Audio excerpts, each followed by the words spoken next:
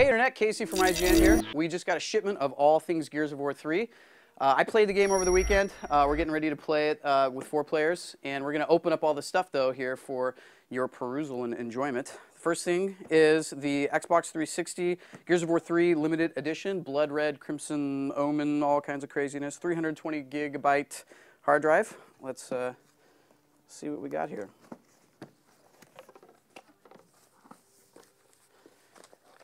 It's a 360. It's a boy. Okay. And there's all sorts of Gears of War Z accoutrements. Yay! all right, so there's a very undescript power block in there that's giant. All right, so moving on.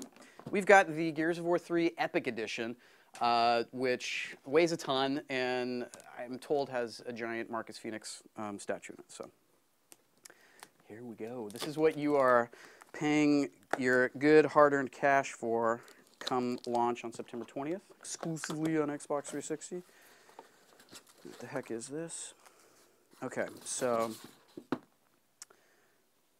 first up we've got what I think is a copy of the game with a Dr. Adam Fenix cog tag in there. Ooh and a nice flag out. Oh, look, oh, look at all this stuff.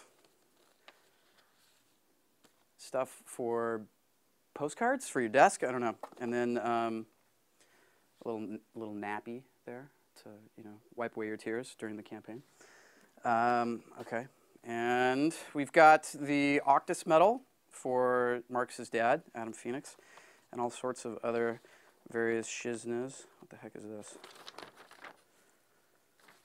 Totally don't know what that is, but I bet it's awesome. Okay, so all kinds of great stuff. Notes, pictures. Oh my goodness. So I'm guessing though, oh, and here's, here's the cog. Cogs are useful for all sorts of stuff. If you want to like work on your car, you want to throw it into a clock or something. I don't know. It's important. There's a art and design of Gears of War 3. and then there is a giant Marcus Fenix statue. Ugh.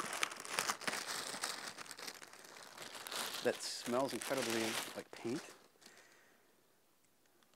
All right, so for all of your Gears of War 3 coverage this week, we're playing the game. We're going to tell you how it is. Keep it tuned to IGN.com.